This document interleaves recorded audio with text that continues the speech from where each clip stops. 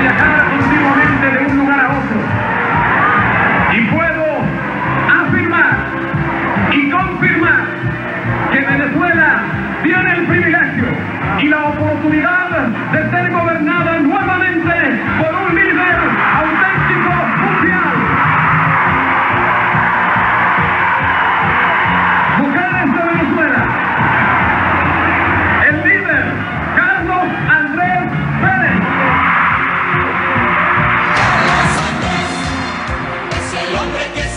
Arriba y a la izquierda. Por Carlos Andrés, vota blanco. Nosotros tenemos que lograr eh, que los acreedores acepten la economía real venezolana y que se sujeten nuestros pagos a lo que realmente el país puede pagar sin sacrificar su bienestar y sin eh, tener que prescindir de un incremento de su desarrollo.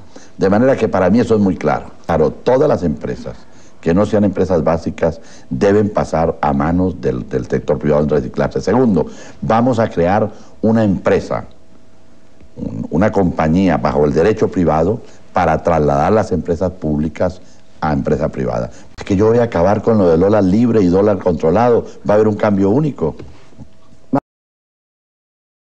El presidente ha entregado poder. Ahora tenemos gobernadores electos en los estados que no son nombrados a dedos por el presidente de la República. Tenemos los alcaldes. Ahora no depende del poder discrecional del presidente el que usted tenga los dólares que requiere para sus compras, el que le den los permisos de importación, el que le den exoneraciones. No, todo esto ahora está diseñado dentro de una política transparente. Hemos abierto el país a, la, competitividad. Estamos haciendo verdad lo que es una realidad mundial inevitable, la integración. Ya el pacto andino es una realidad.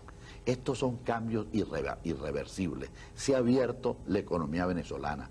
Ahora el empresario siente realmente la seguridad de que de él depende tanto sus posibilidades de crecimiento y de riqueza como de mejoramiento de su actividad industrial y del país. Todo esto son cambios. ¿Cómo, cómo se puede echar abajo todo esto? El Estado venezolano ya es otro. Presidente Pérez nos recibió en el Palacio de Miraflores exactamente el día en que se cumplía un año del primer alzamiento militar contra su gobierno. Todavía en la antesala de su despacho se ven las perforaciones que dejaron los balazos.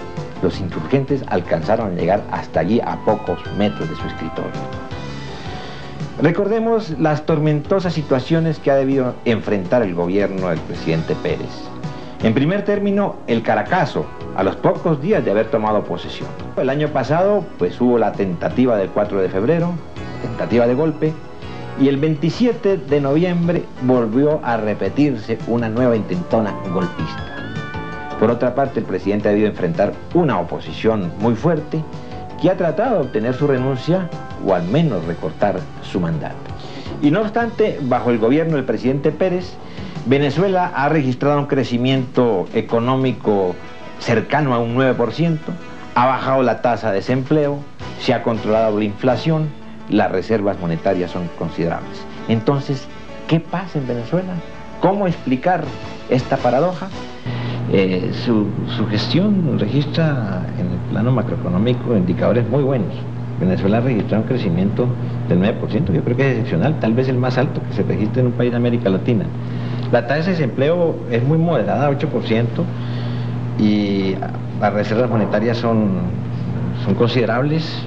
Usted ha logrado controlar la inflación. Y no obstante, usted ha sido, llamémoslo así, vapuleado con ferocidad. Han tratado de derrocarlo dos veces.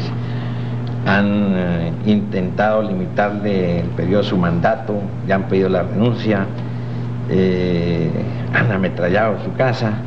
Entonces, Lo único que no han podido es asesinarme. asesinarlo. Es, es, em, ¿Usted considera eh, que es un incomprendido por la opinión pública de su propio país? Yo soy un político con una larga lucha.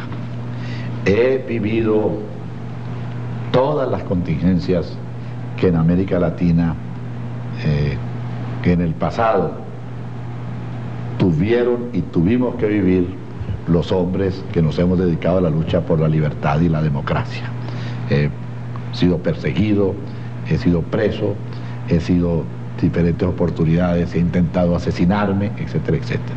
De manera que me he curtido en esa lucha.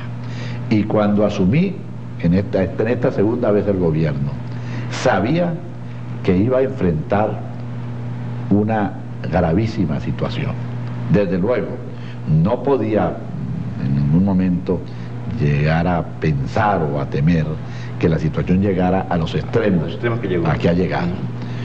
Mm, Pero he entendido que estoy obligado a ser muy comprensivo y muy flexible. juicio militar, pero yo sí he debido pedirle la renuncia a todo el alto mar y nombrar un, nuevo alto mando, man- mando militar. Mi gran error el 4 de febrero fue haber nombrado el Consejo Consultivo y no haberle pedido la renuncia al alto mando militar, sin plantear ningún caso de desconfianza ni de nada, sino que por falta de cohesión y de coherencia entre ellos fue que estalló el 4 de febrero. Motines Ah, no populares, no. El 27 de Ajá, febrero, mi querido ajá, amigo, ajá. fue 25 días después de haber tomado posesión Carlos Andrés Pérez. ¿Cómo, ¿Cómo vas a decir tú responsablemente? Porque Pérez que el mismo día que llegó debía haber impuesto un control sobre los alimentos. en- no, no, no, no. Si, si los controles de cambio, los controles de precios fueron los que impuso Caldera y terminó y terminó estrangulando Pero a la economía venezolana. Mira, con los controles de precio de Lucinchi fue que acabamos con la economía venezolana.